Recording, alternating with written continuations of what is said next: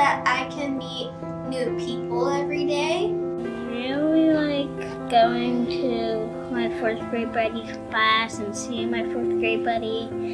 I think that there's a lot of like good people that go to this school and it's easy to make friends here. Everybody was very welcoming and everybody was like, oh Devin, do you want to play at recess? And they were super nice and kind. I like how everybody knows everyone, how it's a tight-knit community, and how the teachers really care about your success beyond school. We have so many classes, science, art, music, PE, and all the other things in between. Wolf Run is like one of my favorite traditions because of the ropes course. It's a really big challenge.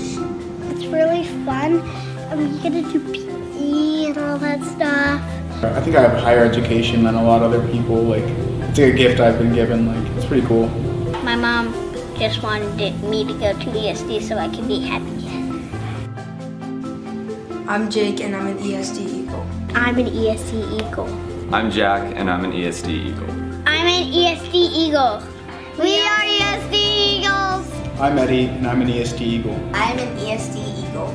I'm Will and I'm an ESD Eagle.